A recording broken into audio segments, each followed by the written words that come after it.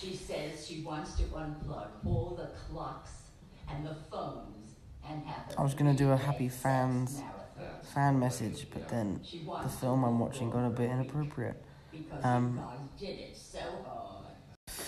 We're home.